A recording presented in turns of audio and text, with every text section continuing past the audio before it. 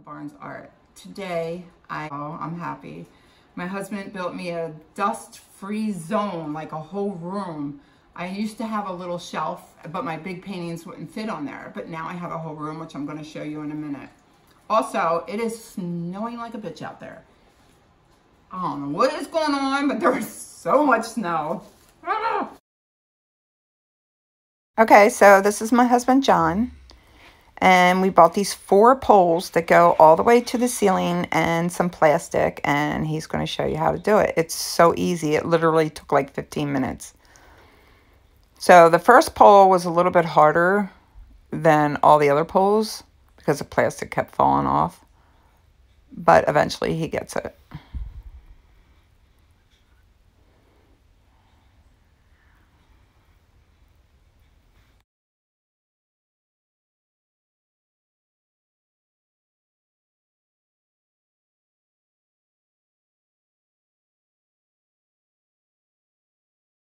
Funny watching him because he looks like he's all tangled up in the plastic.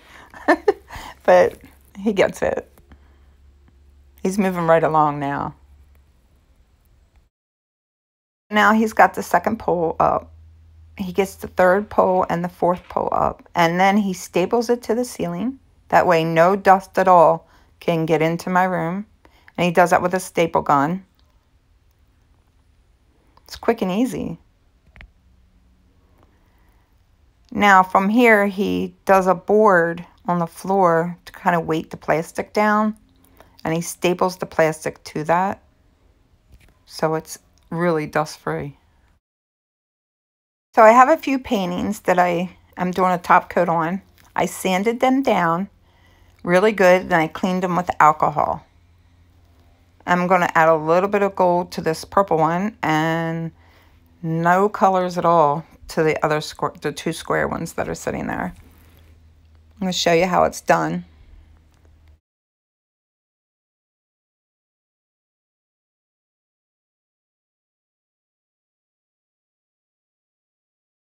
I am using art resin. It is a mixture of one part hardener to one part resin.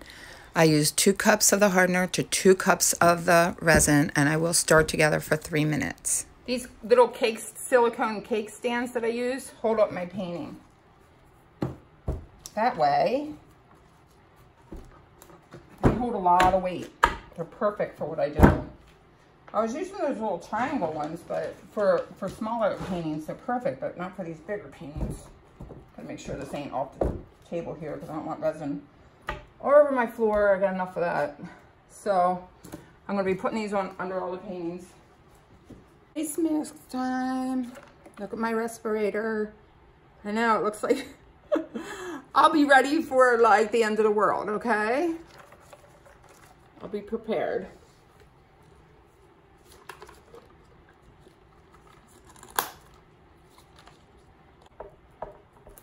So in a lot of my videos, I use like a little face mask um, and I noticed that when I mix the resin, all these little bubbles pop up and they fly up in the air and they can get in my eyes. Or when you heat the resin, I noticed that it smells really bad.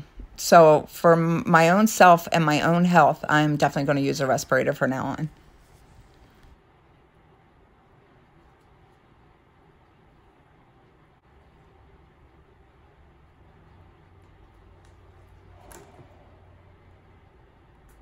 I am pouring the resin on top of the board. This will be my final coat on each painting. It's my final layer.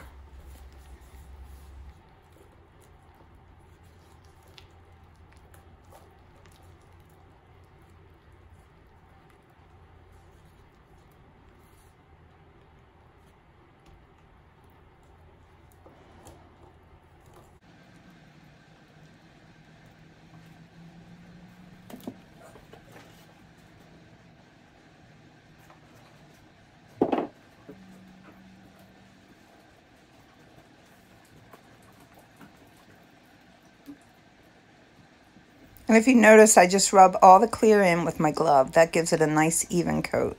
I will go over it with a torch to make sure there's no bubbles anywhere.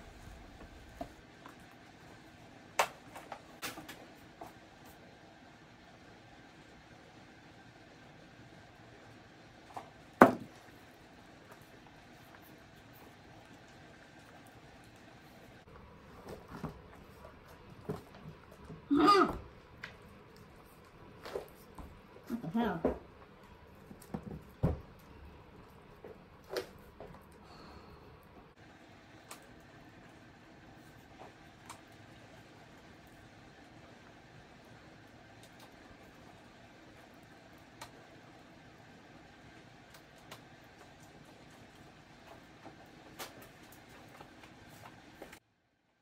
I just thought this purple piece might need a little bit of something, so I did mix up some gold like you saw.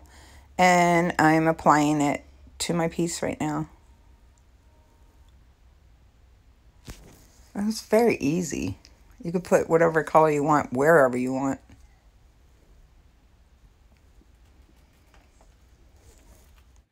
Now's the time if you want to um, adjust your painting in any way with darker colors or lighter colors or just a pop of gold. Now's the time to do it.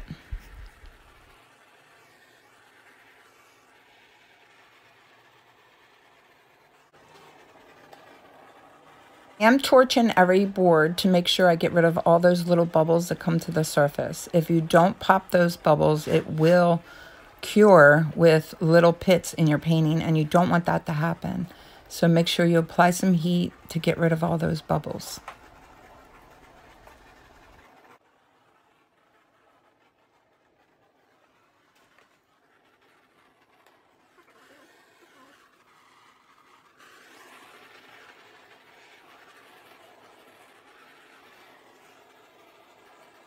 now I'm finishing up my paintings and they need to go into the dust-free zone. I am opening the plastic right now. We have a little piece of tape that we do that with. And I have a, shelving system in there. And every shelf is lined with a piece of plastic. That way the paintings don't drip on top of each other.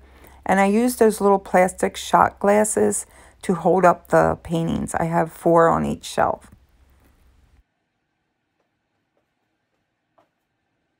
If you liked my video, please give me a thumbs up and subscribe. I appreciate everybody watching. God bless you all. Have a great day.